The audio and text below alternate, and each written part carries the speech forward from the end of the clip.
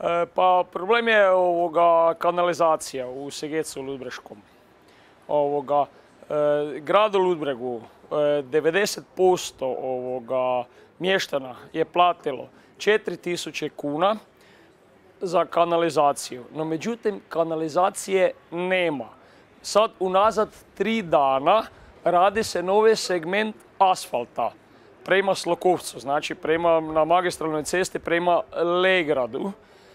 I ruku na srce, znači e, ako bude e, danas sutra, ako i bude kanalizacija, opet će netko mora kopati taj novi sloj asfalta. E, grad je određenom broju ovoga mještana vratio novce, ali koliko ja imam spoznaju, niti ne 50%. A gdje je ostatak novaca? Nemamo kanalizaciju, imamo novi asfalt i nemamo novce. Ja osobno kao branitelj, ovoga, hrvatski branitelj, dvostruko ranjavani, ovoga, grad mi je odobrio e, da ne moram platiti kanalizaciju. Nije problem, ako treba ja ću je i platiti. Ja ću je i platiti. Samo bih želio da je imamo.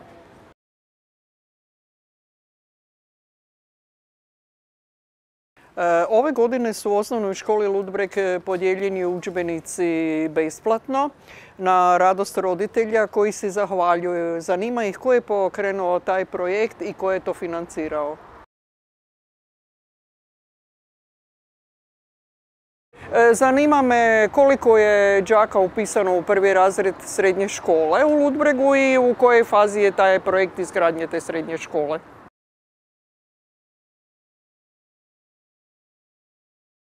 Pa evo mene prvo žulja, općenito vezano na našu državu, što naša država, država Hrvatska, zaostaje za okruženjem.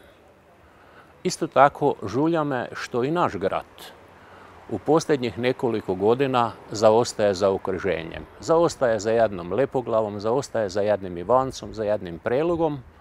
Istina, u posljednju godinu dana možda osjeća se nešto, neki pomak, pa evo recimo srednja škola za pohvalu, ali moram reći to da e, jednostavno treba voditi računa o gdje će ti ljudi raditi. Nekad davno u autobusima su ljudi dolazili na posao u Ludbreg, a sada naši ljudi odlaze van Ludbrega da traže posao. Evo, to je, to je problem našeg grada.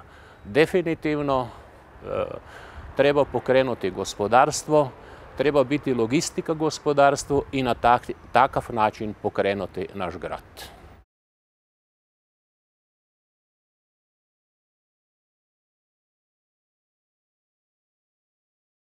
Pa evo, jedan od primjera što me žulja je i evo na ovom našem krasnom okruženju u Ludbregu je dugi niz godina neiskorišten jedan stan. Stan je neiskorišten valjda deseta godina, ali to je jedan dokaz kak se raspolaže sa narodnom imovinom, jedan dokaz da treba voditi računa i iskoristiti sve potencijale koje ova zemlja ima. E, stan je godinama prazan, pa zar ne bi bilo dobro da se taj stan da možda nekome iznajmi, da nosi nekakav prihod, a ne da stan stoji prazan.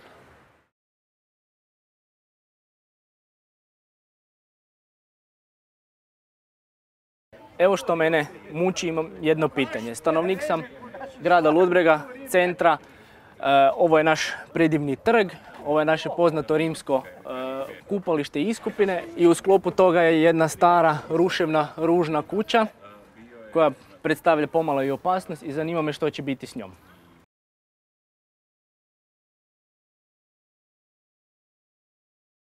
Mene žulja najviše da li u redu to osiguranje, životno osiguranje mojega supruga.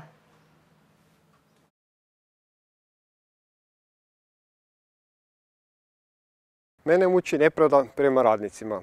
Rad na crno, nedovoljna plaća, prikaz različitog vremena sati, i sve ostalo što se nažalost dešava.